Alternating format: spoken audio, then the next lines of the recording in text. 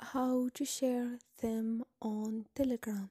Hi guys. In this video i will show you how to share them on telegram. So first thing you can click on those three lines. Click on settings and scroll down and click on chat settings.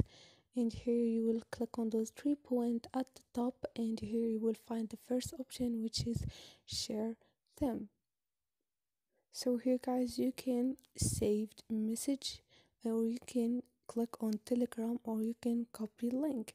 Now here you can choose choose those. Easy and quick. Hope this video was helpful.